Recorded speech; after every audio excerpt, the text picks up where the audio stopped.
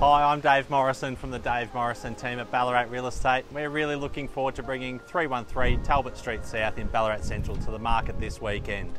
It's a quality home, three bedrooms, updated bathroom and kitchen, set on a large block with rear lane access as well. We've also got approved plans. Can't wait to show you through this property. Let's go.